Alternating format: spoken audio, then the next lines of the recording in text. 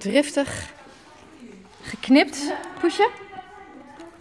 Wat is er poesje? Wat symboliseert een poesje voor jou? Gezellig. Ja, want poesjes komen op schoot zitten. Je Ja. kan ze aaien. Ja. Wat voor gevoel geeft dat? Leuk, gezellig. Hmm, En zacht. En eh, gecombineerd met flesjes wijn. Wat is dat? Ja, want oude mensen drinken altijd wijn. Vinden ze leuk. En als ze wijn drinken, wat gebeurt er dan met ze? Worden ze nog gezelliger. Kijk. En, ja, op een gegeven moment worden ze misschien drinken, inderdaad. En eh, wat is die, dat, die gezelligheid? Waarom is dat eh, belangrijk in ons leven? Eh, omdat je met een slechte houding niet ver komt. Ja. Het is eigenlijk what you give is what you get. Wat, wat, wat bedoel ik daarmee?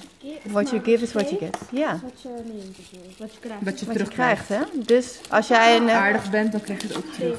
Ja, zo simpel is het. Echt, in alles in het leven kan je het gewoon terug herleiden naar dat. What you give is what you get. Dus als je met een zagrijnig gezicht binnenkomt bij de mensen, wat gebeurt er dan? Dan krijgen we het ook terug. Ja, En dan gaan ze ook niet leuk op de vraag beantwoorden. En dan willen ze de volgende keer ook niet meer meedoen. jij snapt het. Helemaal. Ga jij trouwens vragen stellen? Nee. Wie, gaat, wie van jullie gaat vragen stellen? Huh? Ja, toch? Wat is dat? Ja. ja Ingrid en Jules, allebei eigenlijk.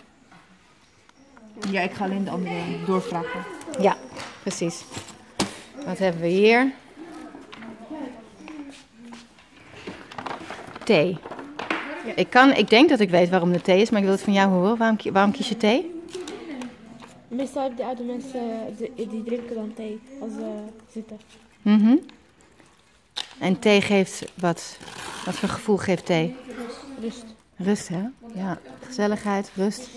Dus ik zei net tegen een andere groep, hè, als je binnenkomt, is het leuk als je een soort van ehm, een gemeenschappelijk onderwerp hebt. Dat is kattenpraat in dit geval. Hè. Iedereen heeft waarschijnlijk iets uitgehaald vroeger.